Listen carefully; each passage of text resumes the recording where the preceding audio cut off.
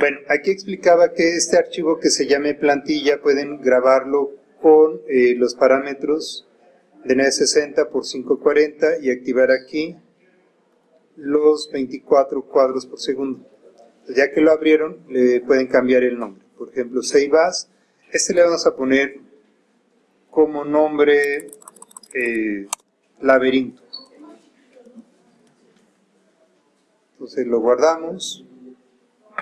Y para construir la interfaz puedo irme a la parte de línea. En línea usaría el visor de front. O aprieto la tecla F también, me puede llevar esa parte. Estoy apretando el scroll para usar esto como base. Si activo esta opción Snap, le doy botón derecho, va, eh, puedo cambiar aquí que encuentre el grid, la retícula, quito vertex, sale esta, este cuadro amarillo y empiezo a trazar mi interfaz. Voy a hacer una de las dos que están ahí.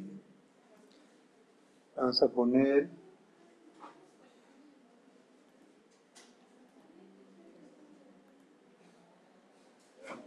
Voy a hacer de esta parte así. Damos toda la vuelta. Y aquí podemos hacer que eh, la pelota pudiera salir por esa parte.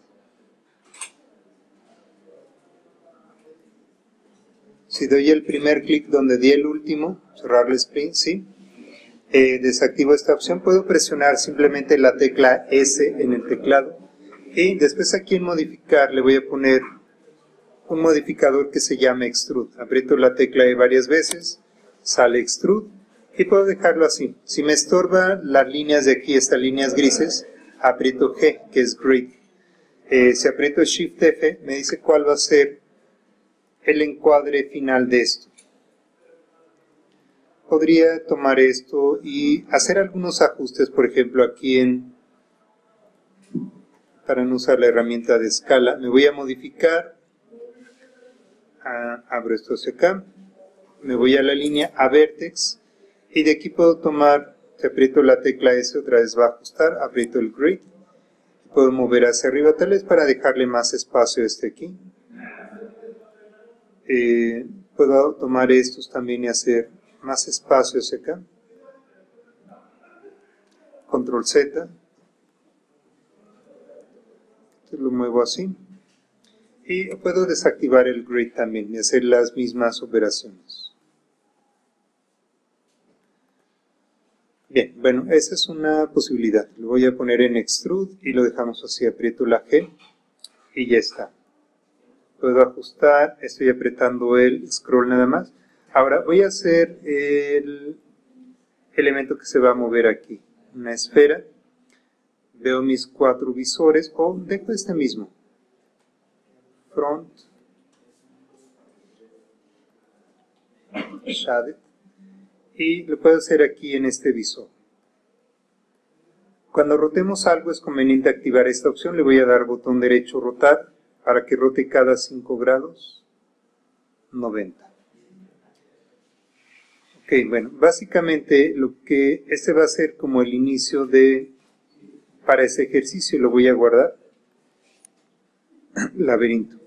Y aquí tendría que calcular primero el tiempo. Voy a presionar auto. Y en cuánto tiempo va a salir de aquí para acá bueno puedo puedo hacerlo en base a 5 cada 5 pero mi criterio va a ser este. Avanzo. Voy a dejar que esta imagen permanezca unos 5 fotogramas.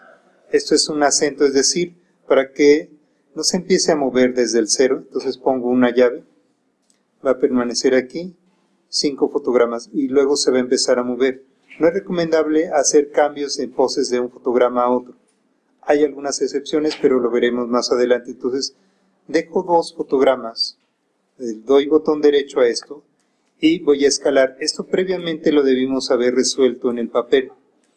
Si yo le doy botón derecho en este que es rotar, aparece esta ventana y la voy a dejar abierta. Entonces, aquí yo determino en qué eje quiero modificar y no vamos a usar, eh, vamos a usar un rango de 20, es decir, 20 eh, aquí como lo estoy viendo en el visor de front sería Z, le podría aquí por ejemplo 110, W, porque aquí ya se enterró en esta parte.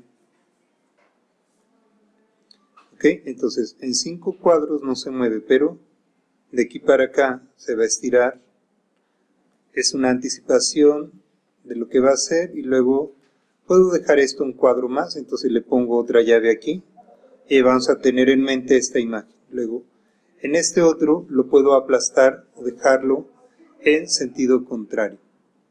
Aquí eh, eh, regreso a rotar.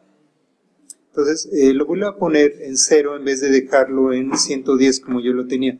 Se puede cambiar aquí en el modo, por ejemplo, local,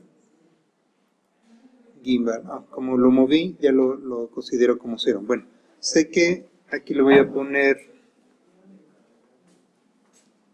le había puesto 10, entonces deberían de ser 90.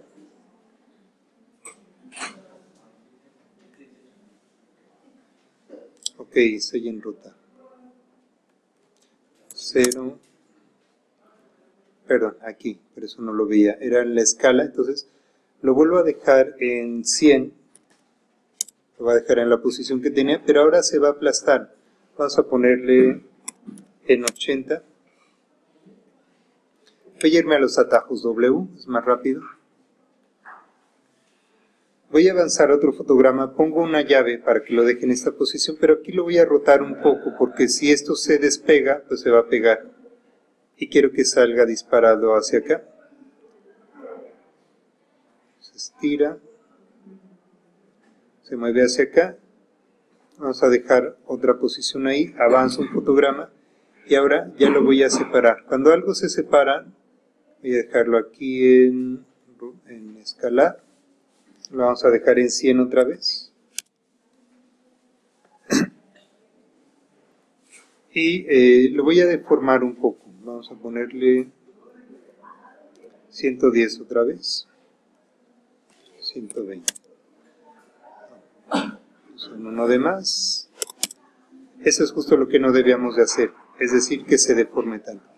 Entonces, ok, se va moviendo para acá. Aquí ya lo podría dejar en esta posición. Avanzo dos fotogramas, lo voy a mover ahora hacia acá.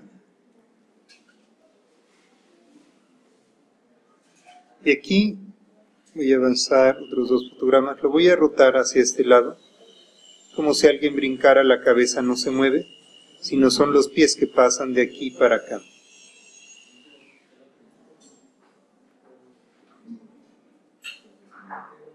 Avanzamos otros dos fotogramas, lo movemos a otra posición. Voy a activar el, con botón derecho, Object Properties, la trayectoria. Y veamos si esto está describiendo una curva. Creo que se movió demasiado para acá. Avanzo otros dos fotogramas. Lo pongo ahora en esta posición. Empieza como a acelerar. Podría poner aquí. Y en otros dos fotogramas aquí ya hace contacto. Siempre y es muy importante cuando algo eh, va cayendo que haga contacto en un fotograma. Avanzo vuelvo a dejar esa posición avanzo otro. Y en la parte de la escala le vamos a poner ahora eh, tal vez unos 60 para que absorba el impacto pero aquí parece que se reduce de tamaño, entonces tenemos que alargarlo es en este compensarlo con unos 30 fotogramas. Ahora lo movemos y tenemos de esta posición a esta. Vamos a dejarlo otro fotograma aquí, en esa posición. Aquí ya no lo voy a poner a que rebote, eso ya lo van a hacer como parte del ejercicio. Eh, simplemente lo voy a poner como si terminara aquí la animación. Entonces avanzo otro fotograma, me voy a la parte de escala, le vamos a poner aquí 100 tabulador 100 acá, W, voy a mover para que no se entierre en el piso y de paso lo voy a girar un poco. Rotar, pero aquí tiene como demasiado fuerte el impacto como para que no se modifique en esta parte. Entonces,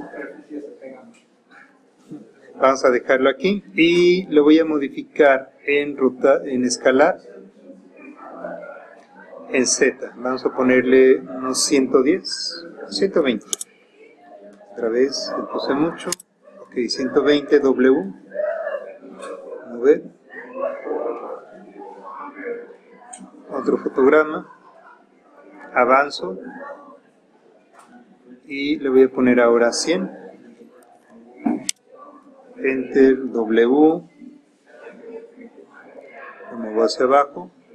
Voy a rotarlo otra vez un poco. Ahí está.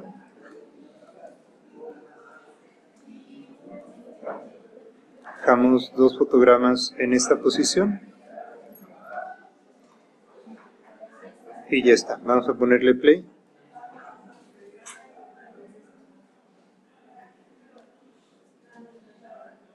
se ve un poco raro. Vamos a ajustar las curvas.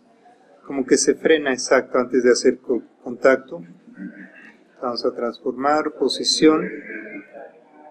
Posición aquí y vamos a ver, se frena por esta curva de aquí. Entonces vamos a romper esa tangente y la vamos a subir.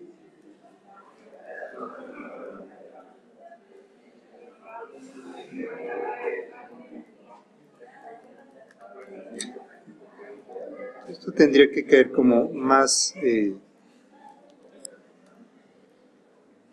directo hacia acá o mover este de aquí.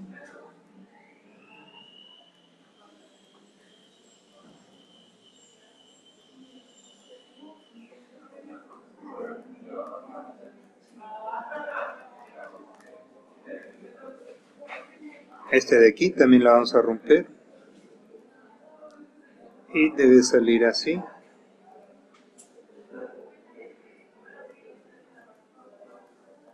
Curva y vamos a ver ahora cómo queda.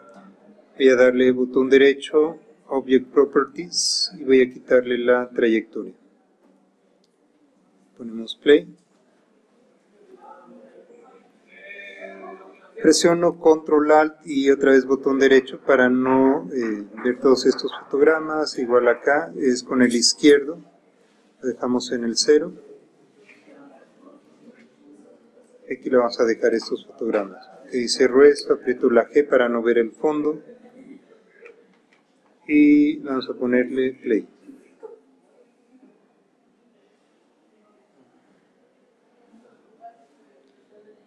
Ok se ve aquí todavía como muy lento esto. Entonces para ajustarlo vamos a ponerle los eh, la trayectoria.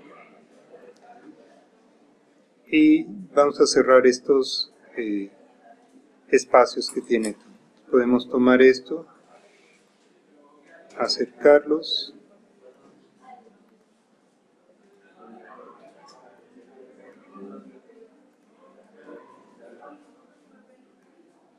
y aquí también acercamos este.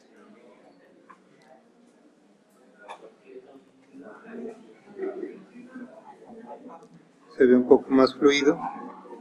Y podríamos incluso quitar algunos de estos puntos quitarles un frame borrar para no dejar cuadros dobles en esta parte. Esta posición está bien y vamos a quitar este de aquí.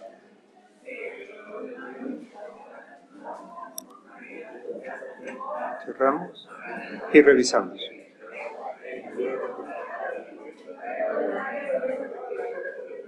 Ok, ya está un poco más fluido, pero ahora hay un corte aquí que hay que ajustar.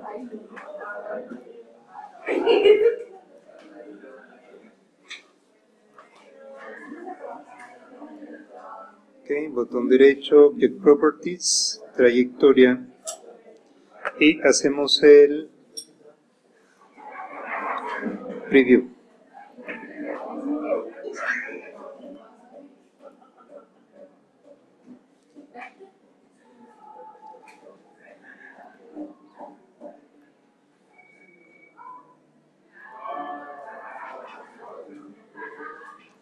Crear.